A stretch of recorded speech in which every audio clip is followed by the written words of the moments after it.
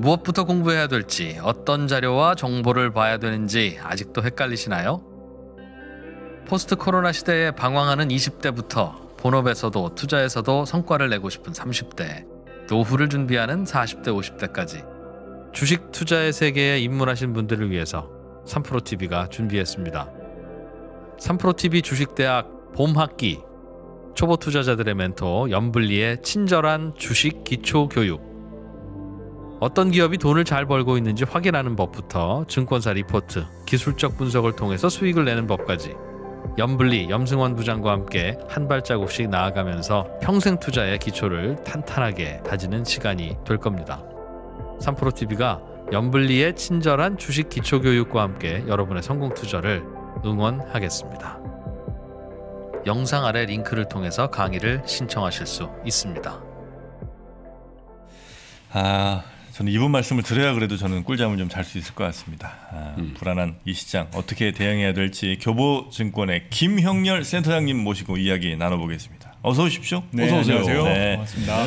센터장 주관입니다. 네, 네. 이번 주 아, 센터장 주간 아, 김영렬 센터장님 오늘따라 아, 의상이 아주 또 캐주얼 멋지십니다. 아, 네. 네. 자 우리 김영렬 센터장님 약간 미대 교수님 같은 느낌? 네. 그럼 그림은 전혀 그릴 줄 몰라서. 대신 우리 주린이들 위한 어, 큰 그림을 그리죠. 큰 그림을 잘 네네네네. 그려주셔야 됩니다. 네. 네네. 자 오늘 그러면 어, 먼저 주식 내용으로 저희가 슬쩍 한번 좀 봤더니 네네네. 전에 한번 잠깐 오셨을 때 그때 뭐 4월이 잔인한 달 뭐 이런 얘기를 좀 주셨었잖아요. 그렇죠. 네. 근데 어, 미중의 무역 전쟁 시즌 2에서 한국이 이게 화려한 조연이 될까 뭐 이런 얘기를 오늘 아마 포함해서 좀 해주시는 것 같은데 네. 네. 네. 어, 어떤 이야기부터 좀 들어가면 되겠습니까? 우선 지난 4월, 어, 3월 말에 이제 4월 전망을 말씀을 드릴 때, 네. 어, 제가 그 타이틀을 누구에게 잔인한 4월일까? 그렇죠. 과연 주식을 갖고 계신 분들일까? 네. 아니면 계속 사지 못하고 방관하시던 분들이 음. 어 하다가 그냥 올라만 버려서 네. 어, 상대적 박탈감을 느끼게 될까? 그리고 음. 저는 그 내용에서는 조금 어, 보수적인 의견을 말씀을 드렸습니다. 네. 4월 조금 어, 어떤 그 상단의 제약이 분명히 있는 시장일 것 같다라는 점을 음. 말씀드렸는데 다행히 이제 제 전망은 지금까지로는 조금 틀렸어요? 틀린 상황입니다. 다행히 그렇습니다. 뭐 워낙 시장이 그만큼 이제 에너지가 강하다라는 거죠. 네네네. 그럼에도 불구하고 이제 지금 계속 고민하는 거는 어 제가 이전 방송에서도 아, 올해 연말까지의 어떤 타임 탭을 우리가 계획해둘 부분이 있거든요. 네, 그렇죠. 네. 어쨌든 이제 1분기는 끝났고 음. 남은 2분기 그리고 이제 하반기를 준비하면서 전체적인 그림을 그려갈 필요가 있는데 네. 어, 지금 저희가 생각을 하고 있는 거는 올해 분기 단위로 봤을 때는 조금 엇박자가 나는 어, 상황일 것 같다. 그래서 1분기, 3분기는 조금 편한 구간, 그리고 2분기, 4분기는 오히려 조금 불편한 구간일 음. 것이다라고 저희는 판단을 하고 있고요. 2분기하고 4분기가 좀 불편하다고요? 네, 그렇습니다. 그래서 어. 왜 이런 고민 등이 필요하냐면 지난 1년 동안은 사실 편했죠. 시장 상황이 어려웠고 네. 문제는 그것을 수습하기 위해서 각종 정책 등이 시장 친화적으로 나와 등장을 해줬었기 때문에 음. 어, 전혀 불편함을 느낄 수는 없었어요. 뭔가 문제가 있으면은 음. 아 우선 덮고 가자. 라는 식으로 상당히 조금 편한 상황이었었지만 네. 이제 경제 심리가 회복되고 어느 정도 정상화된 시그널이 거시 지표나 기업 실적에서 보이기 시작을 하게 되면은 음. 예. 이제 각종 이해관계의 대립이 생겨날 수밖에 없습니다. 음. 그러면 이 과정에서 조금 논쟁이 벌어지게 된다라는 거죠. 음. 그게 이제 주식시장 측면에서 놓고 본다라면은 조금 부하가 걸리는 그런 구간에 이제 들어갈 수가 있게 되는 거고 음. 뭐 작년 같은 경우나 올해 초만 하더라도 미국 오르면 다 된 거 아니야 이제? 라고 하면서 이제 다 같이 좋았었었잖아요. 네. 근데 최근에 보면은 그런 느낌이 좀 들지가 않아요. 음. 그러면 이 얘기는 다시 말하면 지금은 조금은 어, 좀 포만감이 느껴져 있는 상황. 포만감. 그렇죠. 그러니까 지난해 같은 경우는 네. 너무 이제 어, 그이 자산 시장의 붐이 일어나면서 음. 닥치는 대로 먹었죠. 음. 뭐 된다라고 하면은 뭐 여러 가지 스토리에 의해서건 정책 수혜주건 이런 식으로 해서 네. 어, 닥치는 대로 먹을 수가 있었었는데 지금은 이제 포만감을 느끼게 되다 보니까 골라 먹을 수밖에 없게 된다는 겁니다. 그러니까 음. 뭐 표현을 어떻게 드려 전혀 공감이 안 되는 모양이네. 저요? 어. 그것인가요? 저는 소외감만 지금 still hungry. 네. 그러니까 뭐 만약에 뭐 작년 같은 경우는 네. 아무 음식이나 주면 다 맛있게 먹을 수 있었는데 지금은 마치 네. 이제 어 뭐 아침부터 이런 말씀드리기는 그렇지만 어, 곱창을 맛있게 먹고 식사로 짜장면 먹는 느낌? 음, 뭔가 조금 느끼하고 다가서지는 않게 된다는. 거죠. 예, 음. 그렇죠. 그러니까 그만큼 올랐다는 그렇죠. 거죠? 예. 그러면 이거를 덮기 위해서는 네. 우리가 뭔가 아주 강력한 또 추가적인 무언가가 좀 필요한 시기에 있는데 음. 네. 2분기하고 4분기 중에는 그런 것들을 좀 짚고 넘어가야 된다는 거죠. 네. 음. 그래서 거시지표나 기업 실적이 좋아졌을 때 정책의 변화는 없는 것인지 음. 이거를 검증하는 기간이 2분기일 가능성이 또 클 거고 네. 제가 4분기를 말씀드리는 거는 올해 세계 경제가 좋다라는 것들은 대부분 다 공통 분모거든요. 그렇죠. 그러면 이제 내년을 위해서 각 나라별 정책들이 스탠스를 유지할 것이냐 바꿀 것이냐 이런 것들에 대한 논쟁 등이 하반기에는 또 있을 수가 있다는 점입니다. 그래서 음. 어, 제가 뭐 잔인한 4월이라는 표현을 쓰게 된 것이 뭐 시장에서 조심하셔라. 네. 어, 뭐 어떤 경각심을 말씀드리기 보기보다는 너무 무리하실 필요는 없다라는 거죠. 굳이 지금 시장의 구간이 따라서 사야 될 정도에 대한 어떤 긴박한 상황이 전개되고 있지는 않기 때문에 음. 어느 정도의 조금 여유를 갖고 접근하시는 부분 등이 조금 더 필요하다. 지금 2분기에 그렇죠. 아, 약간 어제랑 온도 차이가 좀 있네요.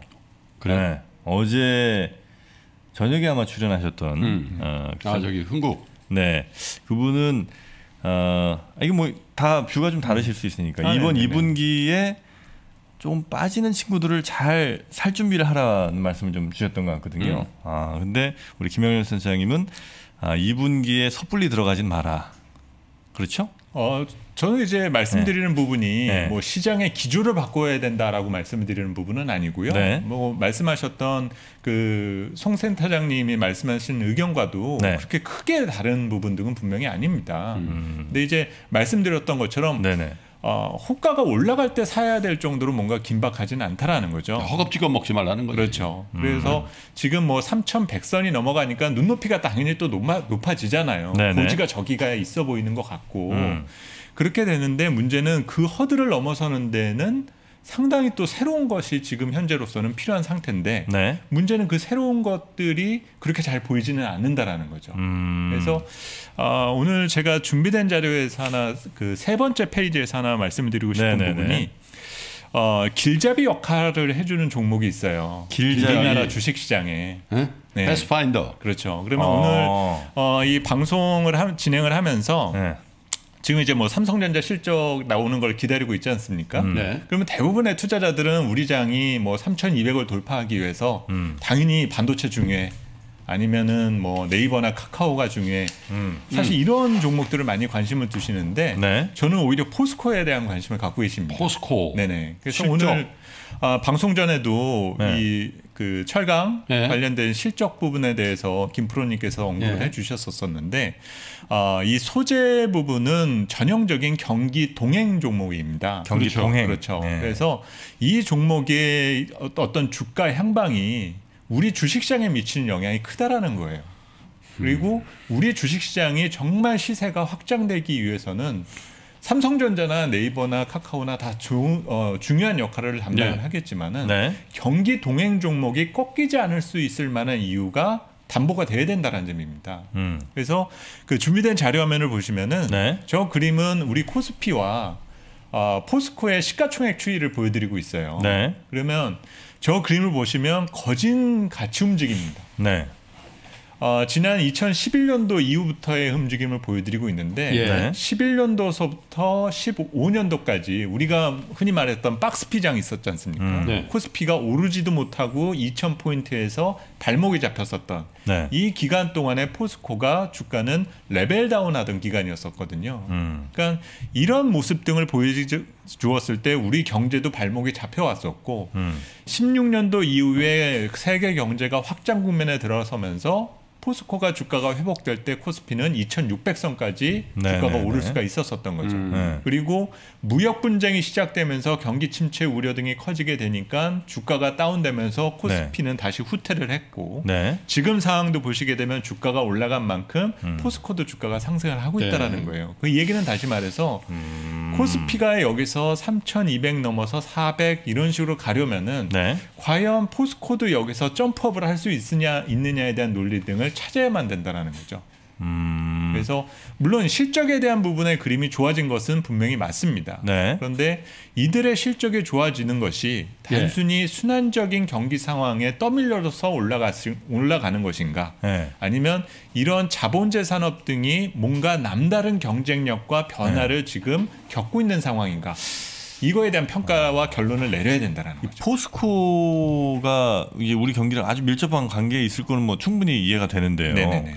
혹시 그게 이제 에, 이- 이른바 코로나 이후로 좀 바뀐 건 아닙니까? 예를 들면 뭐 네이버, 카카오 혹은 뭐 쿠팡, 뭐 쓱닷컴 뭐 이런 친구들은 사실 포스코랑은 상관없을 거 아니에요. 그렇죠. 뭐. 애플 뭐 이런 친구들도 그럴 맞습니다. 테고. 그러니까 그런 친구들이 쭉 해서 뭐 경, 어, 주가 많이 저 우리 상승시킬 수도 있는데 네네네네. 이게 혹시 이 지난 역사를 보자면 포스코가 당연히 이제 이렇게 주가랑 많이 같이 가겠지만 이제는 네. 그게 좀 좀 분리될 수도 있는 건 아닌가. 물론 이제 그런 네. 부분이 의미가 없지는 않습니다. 하지만 이제 지금 말씀하신 산업 등은 네. 어떤 경제를 앞서 나가는 선도 산업에 대한 성격이 짙고 네.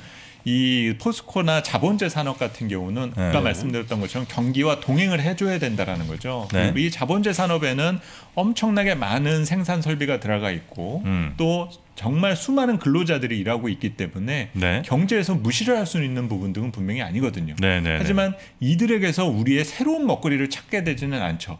음. 물론 각자 그 해당되는 기업들이 우리는 이런 방향으로 성장을 추구할 거야 네네. 라고 얘기하지만은 음. 그게 말한 것처럼 투자자들에게도 그렇게 느껴질 만큼 음. 뭔가 어, 전달력이 그렇게 파급 전달력이나 파급력이 강하지는 분명히 않다라는 점입니다. 네네. 그래서 네. 어, 또 이 과정에서 그런 자본재 산업들이 어, 이 글로벌 기업들과의 어떤 경쟁에서 경쟁 우위 상태에 있느냐 음. 아니면 열의 상태에 있느냐 이런 거에 따라서도 평가는 달라질 수밖에 없는 거거든요. 네, 네. 그런 부분에서 이제 의미를 조금 곱씹어둘 필요가 있다. 그래서 음.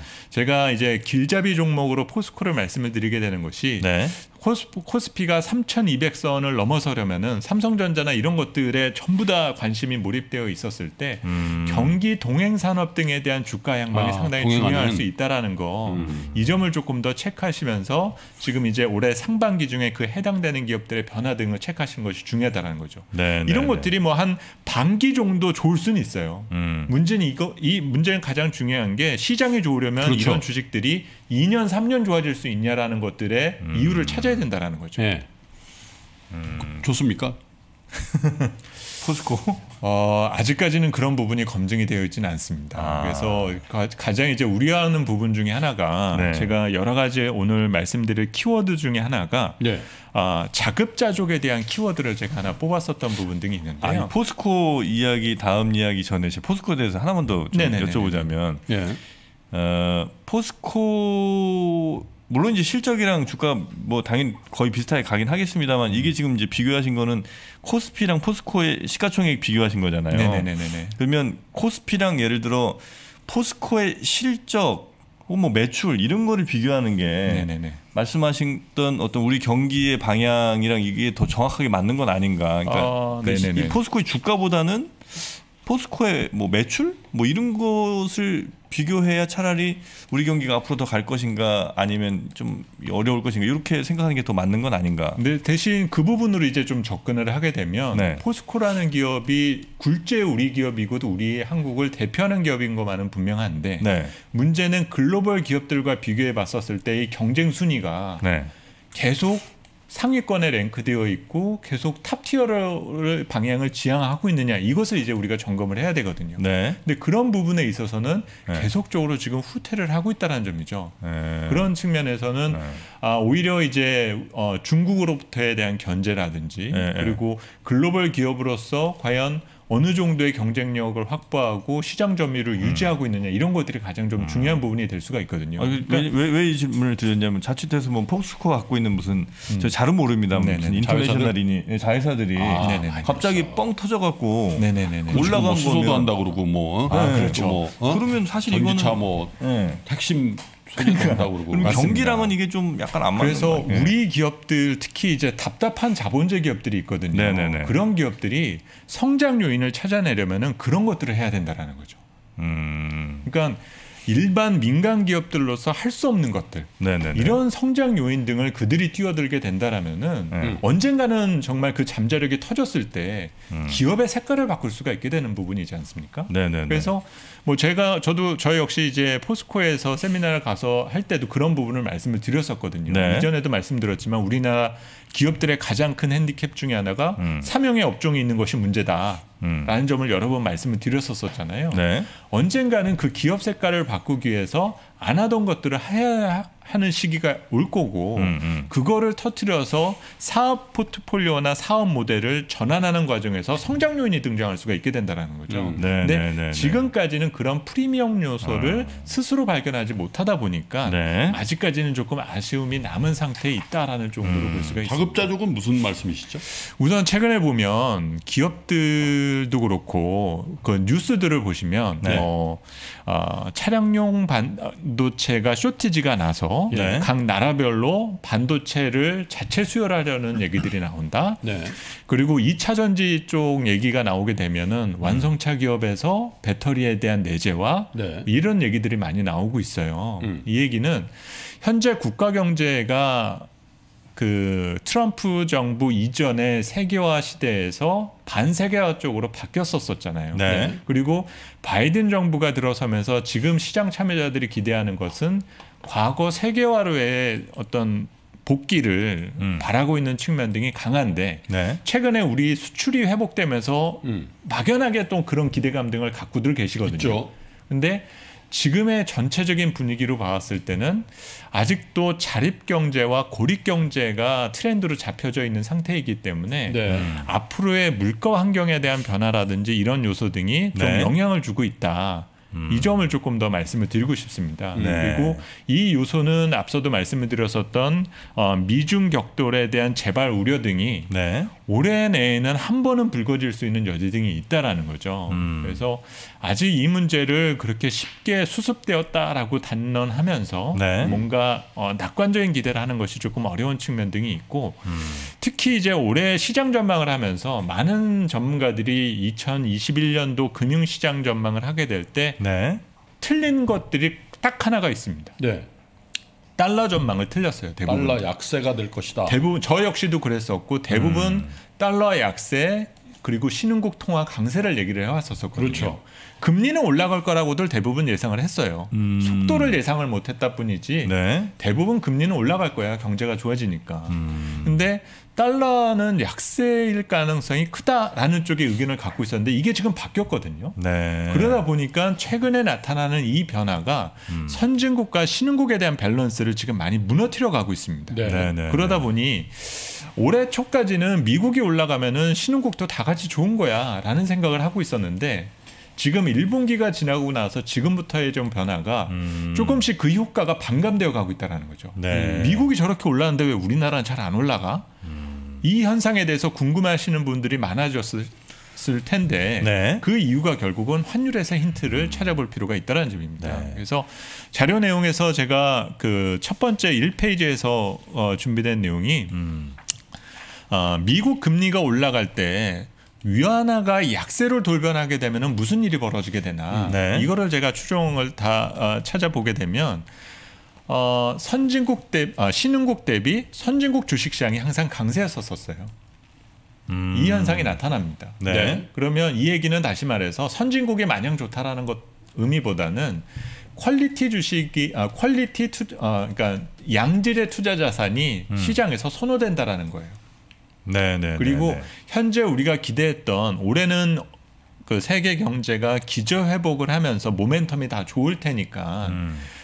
어, 3% 4% 성장하는 미국보다는 네. 야, 8% 성장하는 중국이나 음. 10% 성장하는 인도가 더 좋은 거 아니야? 대부분도 이 컨센을 갖고 있었었거든요. 네. 그런데 이거 백신 접종 속도라든지 다른 것들을 다 따져보니 음. 아직도 선진국인 것 같아.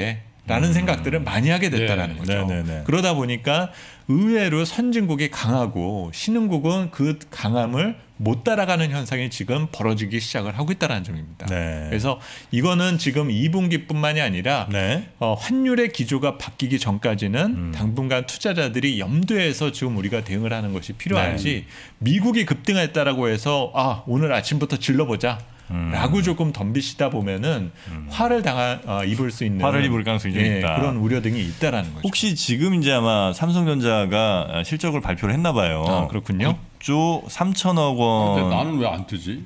아마 많은 분들이 얘기하시는 거 보니까 네네. 아마 이게 틀리지는 않은 것 같은데요. 네네. 9조 3천억 정도면 어, 아주 좋게 본 분들보다는 조금 적고 네네. 일반적인 어, 예상치보다는 조금 높은 것 같긴 그렇죠. 하거든요. 아, 9조 때문에 좋은 거지. 예, 그래서 시장 consen에 비하면 그죠? 그 그렇죠. 정도면 어, 어떻게 좀 우리 아주 좋다고 받아들이면 됩니까? 네, 우선은 네. 원래 그 발표 전 컨센서스 기준으로는 8조 네. 8천이었었고 네. 이제 직전에 대부분 반도체 애널리스트들이 이제 9조 9조 초반 정도로 음. 이제 예상을 했었었기 때문에 그냥 예상 수준의 비태한 정도였다라고 이제 우리가 볼 수 있을 것 같아요. 네. 그리고 가장 우려했었던 거는 지난번 오스틴 쪽이 공장 중단 관련된 네네네. 음. 손실 부분의 우려 등이 있었던 거를 어, 잘 수습했다라는 의미에서는 상당히 네. 긍정적인 내용이었다라고 볼 수 있을 것 같고 네. 오히려 이제 투자자들 입장에서 이제 오늘부터 주목할 것은 아, 이 정도 성과가 나온 상태에서 음.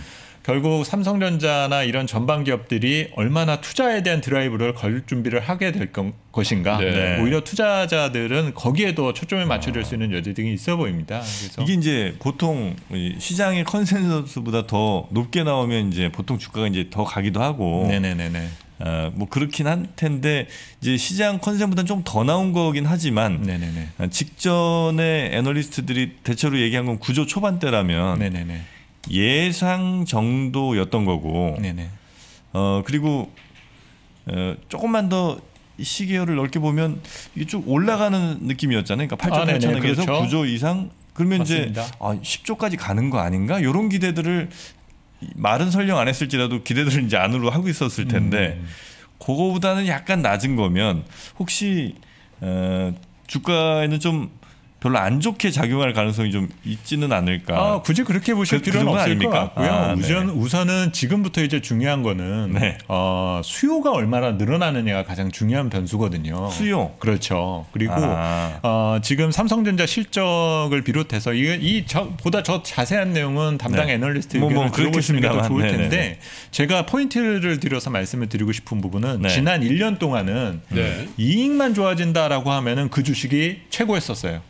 음. 근데 지금부터 더 중요한 거는 네. Q가 얼마나 늘어날 것이냐가 더 중요한 변수가 될 수가 있습니다.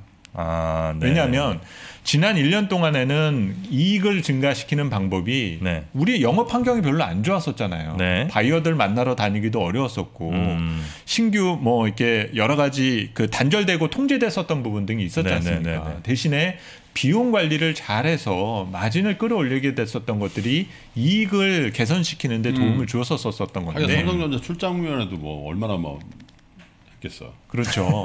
근데 이제 지금부터 중요한 거는 Q라는 거죠. 네. 이 지금부터는 매출이 늘어날 수 있는 그런 요지가 담보가 된다라면은 음. 어 이제 앞으로는 지속 성장에 대한 신뢰가 확보된다라고 볼 수가 있습니다. 음, 네네네. 그래서 어 그렇게 지금 이제 그 테스, 어, 텍사스 지역에서 이런 중단 사태에도 불구하고 네. 양호한 어떤 실적이 나왔었던 부분 음. 그리고 반도체가 기대에는 조금 못 미칠 지언정 음. IM 부분이나 다른 분야 등이 어느 정도 보완 능력을 보여줬다라는 것들은 네. 충분히 어떤 시장에서는 그런 기대감 등을 심어줄 수 음. 있는 부분이 될 수 있지 않나. 아, 근데 확실히 이 삼성전자하고 하이닉스 차트를 보니까 음. 반도체 온리인 하이닉스의 하이닉스. 추세가 네. 강건하고 네. 아, 그렇습니까? 네. 삼성전자의 추세는 이제 반도체 외 다른 부분들이 음. 상당히 많이 희석돼 있네 보니까. 네, 그죠? 네, 네. 네. 이게 뭐 장단점으로 항상 시장에서 작용을 하게 되는 거죠. 음. 워낙 경기가 좋지 않을 때는 다양한 사업 포트폴리오로 인해서 내구성이 강하다라는 장점을 보- 봐- 받기도 하고 네, 네. 반도체라는 어떤 특정 분야에 대한 부분에 조금 관심이 좀 집중되다가 보면은 음. 조금 다른 사업 부분에 대한 어떤 그 여지 등이 네. 약간의 어떤 디스카운트 이유로 자리를 잡게 된다. 이제 네. 그런 부분 등에 대한 의미는 또 오늘 오후에 발표되는 LG전자 실적에서 아, 또. 음. 의미가 조금 더 남다르게 될 수 있지 않을까라고 보입니다. 자, 그러면 우리 센터장님께서는 어, 지금 4월을 어, 기회 봐서 사는 장 아니면 어, 기회 봐서 빼는 장 아니면 어, 좀잘 그냥 홀드하면서 좀 눈치 보면서 기다리는 장 어느 쪽에 조금 더 무게를 두고 싶으십니까? 저는 적어도 2분기 중에 네. 질러야 되는 시그널이다라고 우리가 단정 어, 신호를 파악한다면은 네. 저는 개인적으로는 3천선 아래를 권하고 싶은 부분입니다. 그래서 음. 2분기 중에 우리가 찜찜할 만한 여러 이슈 등이 조금 많거든요. 네. 지금 시각이 또 실적 시즌으로 좁혀져 있는 상태이기 때문에 네, 네, 네. 간단하게만 여러 가지 말씀을 드리면 네. 어, 4월달 어쨌든 뭐 지난번 말씀드렸었던 미중 격돌에 대한 징후 등이 음. 네. 조금씩 어, 수면 위로 많이 등장할 수 있다라는 거 음. 그리고 5월달에 공매도 재개 이슈에 대한 시장 반응들도 우리가 점검할 필요가 있고요. 네. 또 지금 여러 재정 부양과 관련된 논쟁 등이 계속되어 가고 있는데 음, 음. 지금은 뭐 인프라 투자한다라고 그러니까 마냥 좋지 않습니까? 네. 그런데 문제는 그 과정에서 그 재원에 대한 문제 등을 가지고 음. 재원을 어떻게 확보하느냐에 대한 문제를 가지고 네. 어그 정부의 공공부채에 대한 논쟁이 벌어질 수밖에는 없어요. 음, 음. 그리고 또 하나 이제 이벤트 측면에서 하나 말씀드릴 부분 중에 하나가 우리가 네. 별로 요즘은 신경 안 쓰는 부분 중에 하나가 미국의 부채 한도 별로 신경들 안 쓰잖아요. 네, 네, 네. 뭐 작년에 워낙 미국 경제가 침체였었다가 음. 어쨌든 지금은 전후 이후에 가장 심각한 경기 침체이기 때문에 네. 음. 지금 빚이 문제야. 라고 하면서 질러놓던 측면 등이 있는데 네. 19, 아, 2019년도에 트럼프 정부 시절에 부채 한도 증액에 대한 논쟁을 유예시켰었던 법안이 서명이 되었었고 음. 그 유예 기간이 올 7월 31일입니다. 네, 네, 네. 그래서 7월 31일. 올해 2분기가 끝날 때쯤 되면 음. 그 논쟁이 또 한 번 붙을 거예요. 음. 근데 그 내용이 붙는다라고 해서 뭐 엄청난 또 충격이 나오거나 그런 이유에서 말씀을 드리는 거는 아닌데 네. 어쨌든 재정 부양과 관련된 부분에 대한 여러 논쟁들이 음. 시장에서 미치는 영향들 이런 것들을 한번 우리가 짚고 넘어가게 되는 때는 분명히 온다는 겁니다. 그래서 어, 너무 이렇게 어떤 시장에 네. 어, 시, 시장의 어떤 하반기까지의 시계를 보실 때 초시계를 보시기보다는 음. 지금은 조금은 시침을 보시는 쪽에 좀 호흡으로 대응을 하시는 부분들이 좀 필요한 때에 왔고 네. 어, 조금 더 이제 개별적으로 접근한다라면 음. 최근에 뭐 실적 과 연계된 기업들은 시장 무시하고 주가 잘 올라가고 있거든요. 음, 음. 그러니까 좀 좁게 보셔야 돼. 그 내- 안에 개별 기업 위주로서 조금 범위를 축소시켜야 된다라는 거죠. 네. 음. 시장을 사기보다는 실적을 근간으로 한 종목 플레이에 그렇습니다. 기반이다. 음. 이렇게 이렇게 정리하는 거예요. 알겠습니다. 이런 식으로. 아이고 대단하십니다. 네. 10년 하면 아 그러니까요. 정리가- 아이, 저는 어려워요 너무. 네. 자, 정리가 안 됩니다 제 계좌부터. 오늘 어, 센터장 특집 어, 오늘 수요일은요 우리 김형렬 교보증권 센터장님과 함께 했습니다. 네. 자 오늘 나와주신 우리 김형렬 센터장님 대단히 고맙습니다. 네, 감사합니다. 감사합니다. 자 이제 연부장 만나러 가겠습니다. 매달 월급처럼 따박따박 배당을 받는 ETF 그리고 1년 사이에 10배가 오른 테슬라 미국 시장에 상장을 준비하는 쿠팡까지 소식은 많이 들리지만 미국 주식 투자를 시작하기에 아직은 어색하신가요? 포스트 코로나 시대에 방황하는 20대부터 본업에서도 투자에서도 성과를 내고 싶은 30대 노후를 준비하는 40대 50대까지 미국 주식의 세계에 입문하신 분들을 위해서 3프로TV가 준비했습니다. 3프로TV 주식대학 봄학기 미국 주식에 미치다 장우석과 이항영의 미국 주식 완전 정복 미국 시장의 제도, 특징, 세금부터 기업의 가치 분석, 포트폴리오 유망 종목까지 장우석 본부장, 이항영 대표와 함께 한 발자국씩 나아가면서 평생 투자의 기초를 탄탄하게 다지는 시간이 될 겁니다. 3프로TV가 미주미 미국 주식 완전 정보 클래스와 함께 여러분의 성공 투자를 응원합니다. 영상 아래 링크를 통해서 강의를 신청하실 수 있습니다.